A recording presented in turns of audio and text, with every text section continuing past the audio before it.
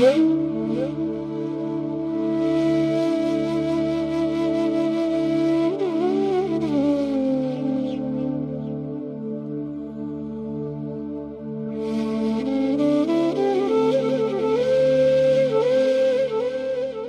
Guys तो स्वागत सभी का हमारे आज के वीडियो में। तो गाइस आज हम निकल गए अर्ली मॉर्निंग गाइस हम लोग इतनी शानदार जगह जा रहे हैं मैं आपको क्या बताऊँ। गाइस तो आज हम लोग जा रहे हैं लाखा मंडल। जो काफ़ी दूर है मुझे पता है। 120 किलोमीटर के करीब दूर है। बट मेरा जाने का मन था मैंने इसके बारे में पढ़ा था और देखा भी था। सो so, मैंने कहा डिसाइड किया चलो आज अपन लाखा मंडल चलते हैं। तो गाइस पूरी वीडियो में बने रहना तो मैं बताऊँगा इस मंदिर की खासियत। और हम जा रहे हैं लाखा मंडल और बहुत ही सुंदर जगह है बहुत ही सुंदर गाँव है। तो गैस बने रहना पूरी वीडियो में। लाइक शेयर फॉलो सब्सक्राइब करना मत भूलना यार। गैस ज़्यादा नहीं मेरे को अभी दो ढाई दो ढाई घंटे लगेंगे पहुँचने में। सुबह निकल गया था जल्दी। और अचानक ये प्लान बना हमारा कल।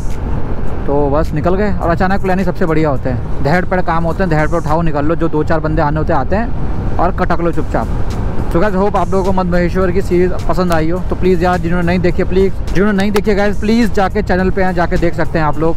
तो गैस आज का मौसम थोड़ा ठीक है मतलब कड़कती धूप नहीं है देहरादून में बहुत कड़कती धूप हो रही है यार।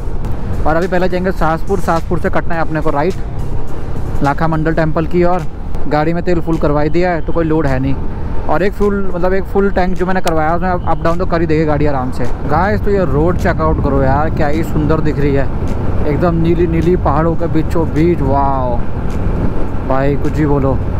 शानदार मज़े आ रहे थे, देर से हम चलाए जा रहे हैं इन रूटों पर यार। जंगलों के बीचों बीच बाय गॉड क्या ही सुंदर दिख रहा है यार। ये नज़ारे बहुत अमेजिंग है यार।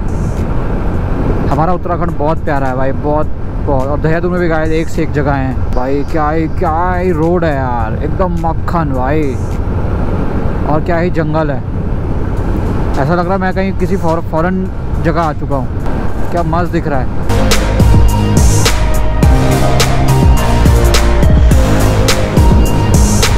नई जगह है भाई, पहली बार आ रहा मैं इधर। बस थोड़ा धूप बहुत हाश पड़ रही है। और अब तेज़ होगी, उस समय नहीं थी। अरे भैंस, घर ये फॉल देखो कितना सुंदर दिख रहा है यार। ओ तेरी। यहाँ देखो लोगों ने क्या हाल मचा रखा।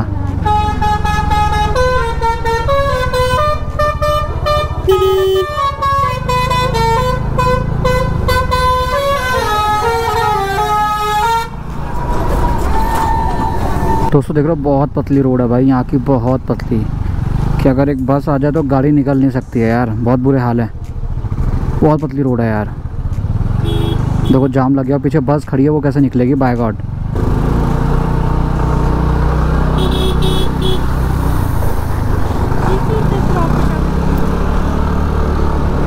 फ़ायदा होता है स्कूटी का पहाड़ों में आने का। बाकी अब हम पे कार होती ना तो भाई अटक जाते हैं अपन भी। घंटों लगते हैं अपन को वहाँ से निकलने में। घंटों नहीं तो पंद्रह बीस मिनट तो कहीं नहीं गए, आधा घंटे करीब। बट चलो, कोई बात नहीं, अपन निकल गए। बहुत तेज़ धूप हो रही है इधर बहुत तेज़ धूप। तो कहे आई थिंक कोई गाँव है। काफ़ी टूरिस्ट आ रखे हैं यार इधर। टूरिस्ट तो गए उत्तराखंड में, हर जगह है। Delhi H R H P O क्या सुंदर रिवर है, वो देखो वहाँ। गंद मचाना स्टार्ट साइड में।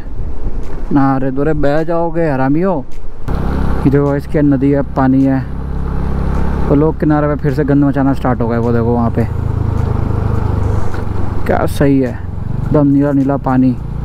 मस्त नदी है एकदम यार। कैसे देखो यहाँ पे नेचुरल पानी। ये तो बहुत ही प्यारा है भाई। ये देखो। क्या सही है, एकदम नेचुरल पानी, ठंडा ठंडा। वो भैंस की टांग घास की तो ठंडा है यार ये पानी। वो चलो यहाँ पानी वानी भरते हैं, पीते हैं, निकलते हैं फिर। पहाड़ देखो कैसा था ये वाला। ये, अजीब सा ही है, देखो। ऐसा काट के बनाया है। वो, कितना अजीब पहाड़ है यार ये। गॉड ना कुछ भी नहीं है इसमें। ना कोई पेड़ पौधे ना कुछ। पूरा लाल पीला हो रहा है। तब अलग कलर का हो रहा है थोड़ा। लाल पीला तो नहीं हो रहा है, खैर। वो दोस्तों, ये व्यू चेकआउट मारो यार, क्या ही सुंदर है। बाय गॉड ये देखो। रोड थोड़ी ख़राब है बट ये जो पहाड़ है ना नेक्स्ट लेवल दिख रहे हैं भाई हरे हरे मस्त एकदम। रोड साइड बैठ गई है इधर वाली।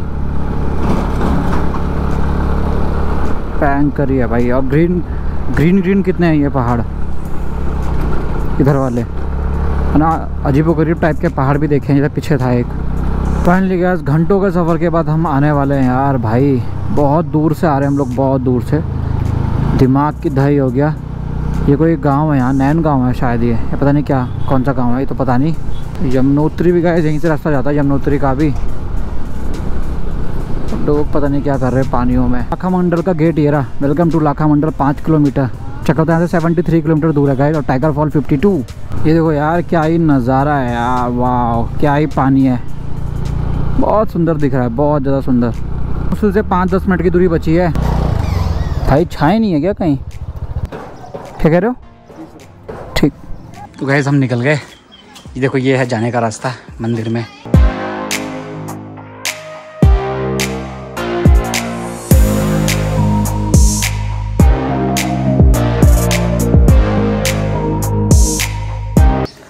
तो तो चल रहे हैं ऊपर।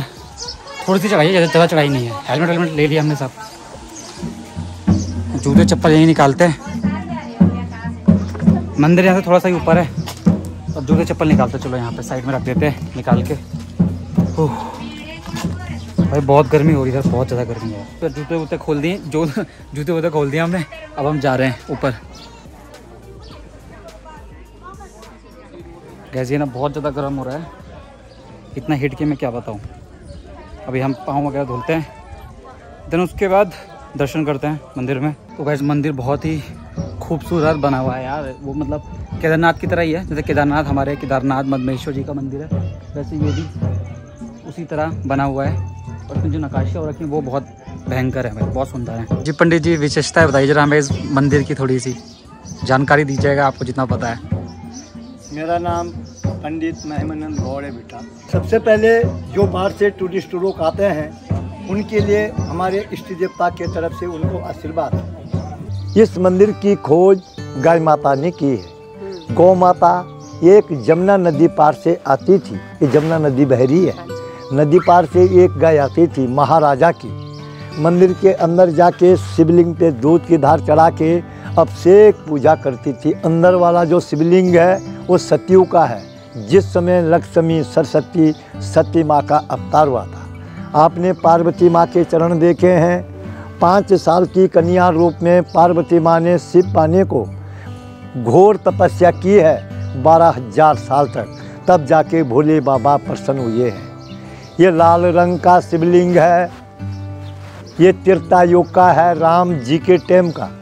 इस शिवलिंग की स्थापना समुद्र के बीच में की है। ये शिवलिंग या तो लाखा मंडल के शिव मंदिर में मिलेगा, या तो सोयत बन रामेश्वर में। ये पूरे भारत देश में कहीं और जगह ये शिवलिंग नहीं मिलेगा। ये हरे रंग का शिवलिंग है द्वापर युग का है, कृष्ण जी के टेम का। जब कृष्ण जी का अवतार हुआ था द्वापर युग में, यहाँ पे तैतीस कोटि देवी देवता है, सवा लाख शिवलिंग की यहाँ पे स्थापना है।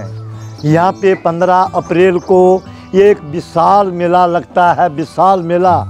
वो मेला पूरे हिंदुस्तान, भारत का, देश का पहला मेला इस स्थान पे लगेगा। उसके बाद पूरे देश में मेले होंगे। चार धाम के कपाट उसके बाद खुलेंगे। जिस बेटी का और बेटे की शादी हो जाती है, फिर किसी के बच्चे नहीं होते हैं।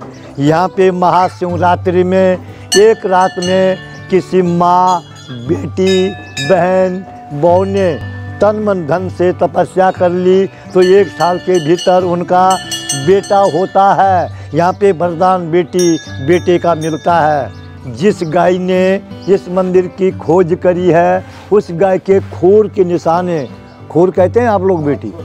ये देखो आप लोग के खूर के निशाने ये सारे। ये देखो, ये ऊपर देखो बेटी, ये।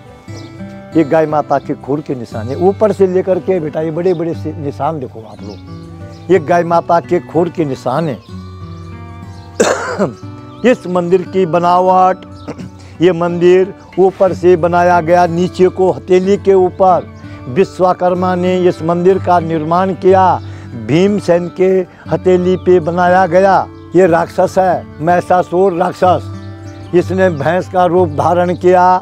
इस राक्षस ने भैंस का रूप धारण किया और भगवान को भक्षण करने जा रहा था। माता जी समझ गई, दुर्गा माँ, कि मेरे पति को भक्षण करेगा। उसने उसकी टांग पकड़ ली, कमर पे गदा मारा, सिर पे पाँव रखा, उसको दबोच दिया है। को जलाने के लिए लाका महल बनाया लक्ष्य ग्रह वो ये जगह है बेटा। यहाँ पे चारों तरफ़ ग्रिल है लगी हुई। चारों तरफ़ ये लाली है, इधर भी ईट है, पीछे ईट है, इधर भी। इस सीट के नीचे आज भी लाख है। यहाँ पे महल था। महल पे दुर्योधन ने आग लगा दी। महल जल गया। यहाँ से अंदर ग्राउंड सुरुंग है। ये सुरुंग किसने बनाई? पांडवों को बचाने के लिए कोई बेटा बेटी बोल सकते हैं? बोलो जी। किसने बनाई ये सुरुंग पांडवों को बचाने के विधुर जी ने। विधुर जी ने यहाँ से सुरुंग बनाई। पांडवों को बाहर निकाला। नीचे सड़क पे आते समय आपको ये गुफा मिली है, पांडवों गुफा। पांडवों को यहाँ से भी दूर में उस गुफा से बाहर निकाला। उसके अंदर जाएँगे आप लोग, अंदर जाके सुरुंग में चले जाना। सुरुंग में जाके आपको इतना छोटा शिवलिंग मिलेगा। ऊपर शेषना का आकार होगा। उसके ठीक सामने से जो सुरुंग है, वो आपके विराट राजा के यहाँ निकलती है। जहाँ पे पांडवों ने नौकरी करी है, उसके बगल में दूसरी सुरुंग है। वो आपके कुरुक्षेत्र में निकलती हरियाणा में पंजाब, जहाँ पे महाभारत की लड़ाई शुरू हुई है। उसके अंदर तीसरी सुरुंग है, वो आपके केदारनाथ, बद्रीनाथ निकलती है, जहाँ से पांडव लोग स्वर्ग लेनी गई ये मूर्ति कौन सी है? ये भी मैं तुमको पूछूँगा, सवाल का उत्तर आप देंगे। राजा दक्ष ने यज्ञ किया। उन्होंने तमाम दुनिया के लोगों को सबको अपने यज्ञ में बुलाया। अपनी बेटी जवाई को नहीं बुलाया। उनकी बेटी जवाई कौन? बोलो जरा जुमान तो खोलो। सती माता, सती माँ ने बोला, अपने पति देव के लिए जैसे तुम्हारे देवता तुम्हारे साथ है। कि पति देव मेरे मायके में, आपके ससुराल में यज्ञ हो रहा है, आप चलिए। भगवान ने उनको जवाब दिया, देवी, हमारे लिए कोई चिट्ठी नहीं, कोई निमंत्रण नहीं, कोई बुलाव नहीं। हम लोग वहाँ जाएँगे, वहाँ पे हमारा अपमान होगा। सती मानी, अपने पति की बात नहीं मानी। उनकी आपस में लड़ाई झगड़ा हो गया। तुम्हारा भी होता है लड़ाई झगड़ा। तो ये परंपरा से चल के आया है। मेरा तो बहुत ज़्यादा होता है। सतयुग में इनका रूप है वीर और भद्र। त्रेता युग में इनका रूप है जय और विजय। द्वापर में इनका रूप है द्वार और पार ये कलयुग है। कलयुग में ये शंकर भगवान जी है, भोले बाबा सती माँ के पति देव। इनका हीरे मोती का मुकुट है। ये राक्षस है दानव इसके खोपड़ी पे ऊपर मुंडी है। ये मसान का निशान है। ये शिवलिंग ये शिवलिंग धर्मराज युधिष्ठर महाराज ने इस शिवलिंग की स्थापना करी है। इस शिवलिंग का नाम है मडलेश्वर महादेव के नाम से। क्या बोला मैंने? मडलेश्वर। महादेव। हमारे लाखा मंडल के अंतर्गत में चौबीस गाँव आते हैं। चौबीस गाँव के बीच में जिनकी मृत्यु होती थी उनकी डेड बॉडी यहाँ लाते थे। पुजारी अपने घर से गंगा यमुना जल लेके आते थे। मंत्र द्वारा उस पे जल का छीड़ा मारा। जल का छीड़ा घेरा मरा हुआ आदमी जीवित होता था। ब्राह्मण देवता उसको अपने हाथों से दूध बात खिलाता था। जैसा ये मैदान है जी। ऐसा मैदान पहले इनके ऊपर था। जी। तो ये 2007 में खुदाई में निकले सारे बंदे। ये 2007 में निकले। खुदाई यहाँ पे 100 मीटर से लेकर के 200, 300, 400 मीटर तक कहीं भी खुदाई करते हैं तो भगवान निकलते हैं यहाँ ये आज भी निकल रहे पहले भी निकले ये अभी यहाँ पे खुदाई हुई है आठ महीने हुए आठ महीने पहले ये खुदी निकली ये है जा काली माता है खप्पर वाली माता है शीतला वाली माता है। हमारे भारत में हमारे देश में हमारे हिंदुस्तान में चीन से बीमारी आई कोरोना 2019 में। पूरे दुनिया में फैला है। हमारे लाखा मंडल के पुजारियों को, माता बहनी, बेटियों को पता लगा कि भारत में कोरोना फैल गया है। हमने इस माँ की पूजा करी है। हमारे पूरे इस क्षेत्र में अभी तक कोई कोरोना का मरीज़ नहीं निकला। इस माँ की इतनी बड़ी कृपा है। मेरे को आप जल चढ़ाओ यहाँ पे शिवलिंग पे। शिवलिंग पे। ओम त्र्यंबकम जजामे सुगंधि पुष्टि वर्धनम पुरवारुकमे वंदनात् मृत्युर्मुक्षी मामृतात्। ओम नमो शिवाहि नमो शिवाहि नमो शिवाहि नमो ओम नमो शिवाहि नमो शिवाहि नमो शिवाहि नमो ओम त्र्यंबकम जजामे सुगंधि पुष्टि वर्धनम पूर्वारुकमे वंदनात् मृत्युर्मुक्षी मामृतात् ओम नमो शिवाहि नमो ओम नमो शिवाहि नमो शिवाहि नमो शिवाहि नमो ओम नमो शिवाहि नमो शिवाहि नमो शिवाहि नमो ओम नमो शिवाहि नमो शिवाहि नमो शिवाहि नमो। ओम नमो शिवाहि नमो शिवाहि नमो शिवाहि नमो। यह शिवलिंग है, अद्भुत शिवलिंग चिंता हरण महादेव। इस भगवान के दर्शन करने से सारी चिंता दूर होती है। यह शिवलिंग है, पारदर्शी शिवलिंग पारदर्शी शिवलिंग। जैसे आप अपने परिवार से, बच्चों से माता पिता भाई बहनों से प्यार करते हैं आपका प्यार भगवान अपने अंदर समा लेता है। यह शिवलिंग है, अष्टदल शिवलिंग अष्टदल शिवलिंग। राजा सगर के साठ हज़ार बेटे थे। कपिल मुनि ने उनको शराप दिया। सारे भसम हुए। भागीरथ जी ने उनके कुल में जन्म लिया। शिव की तपस्या करी। गंगा जी को मृत्यु लोक में लाया। अपने पितृ देवताओं का उद्धार किया। इस भगवान के दर्शन करने से आप लोगों के साथ जन्म जन्म के पितृ देवताओं का उद्धार होता है। लगाओ बेटा यहाँ पे मोबाइल पर। आपका प्रतिदिन देखेगा जी। देखो आप लोग बिल्कुल। आ रहा? जी। आप अपनी मोबाइल लगाओ जरा वहाँ पे दीजिए।